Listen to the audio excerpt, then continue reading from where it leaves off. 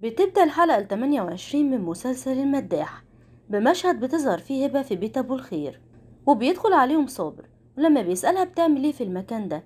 بتقوله إنها بتشتغل ولما بيحاول ياخدها بيقول لأبو الخير إنه يتجوزها وإنها مش هتمشي معاه وبيطلب صابر من أبو الخير إنه يبعد عنه وعن عيلته وبيقول لأبو الخير إنه جرب الحب قبل كده بس رحاب اتجوزت قبل كده مرتين وبيقول له إنه ما يعرفش هو ممكن يعمل في صابر إيه.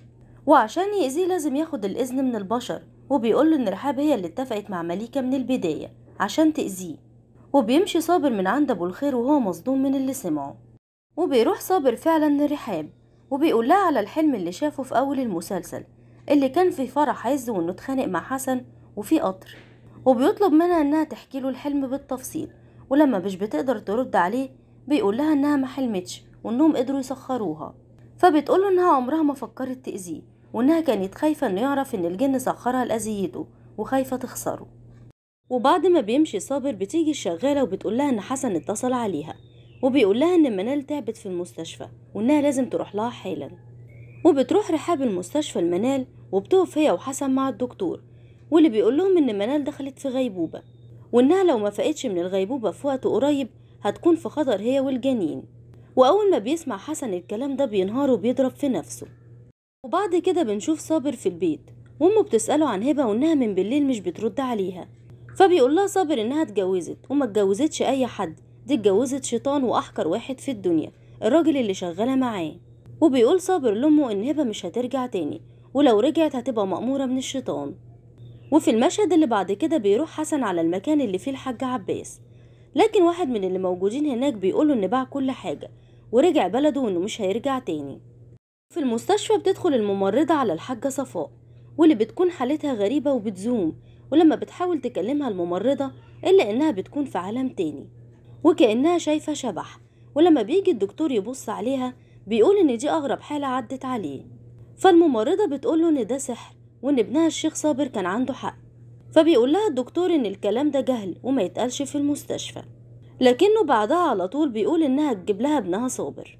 وفي المشهد اللي بعد كده بتروح رحاب لصابر وبتقوله إن حسن اتسبب في تعب منال وإنه اداها حاجة غريبة خلت حالتها تسوء جدا. وبيروح صابر لحسن وبيقوله إيه اللي عمله في منال وليه مشي ورا الشيطان.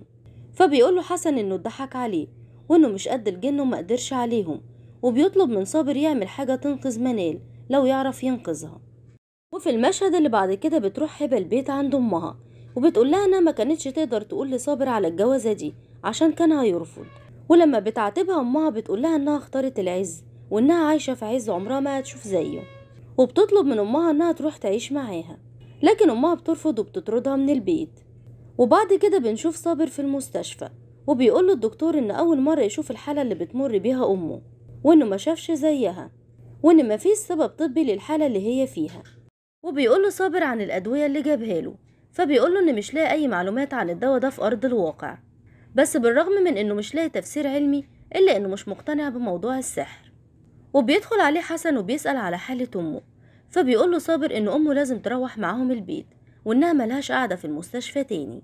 وفعلا بياخدها صابر مع البيت. وبتقول له أمه عفاف يا ريت ياخد الحاجة صفاء يوديها الشيخ لكن صابر بيرفض.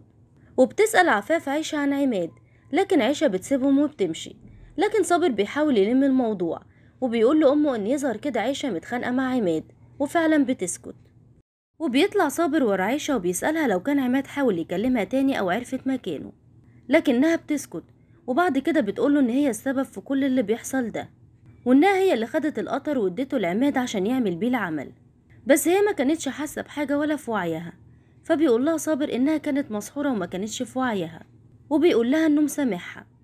وفي المشهد اللي بعد كده دخل السكرتير بتاع أبو الخير عليه في المكتب وبيقوله إن في كارثة حصلت في مشروع مرسى علم. وده لما العمال لقيوا اثار وهم بيحفروا أساسات المشروع وإن الحكومة جت ووقفت الحفر وشكلهم هيلغوا التصاريح فبيقول لأبو الخير يكلم المحامي عشان يتصرف. وفي المشهد اللي بعد كده بيروح صابر البيت وبتسأله عفاف وبتقوله عملتوا إيه مع الحاجة صفاء؟ وبتقوله إن عماد جه أخد الحاجة صفاء في العربية بتاعته وقال لها إن صابر مستنيه في المستشفى.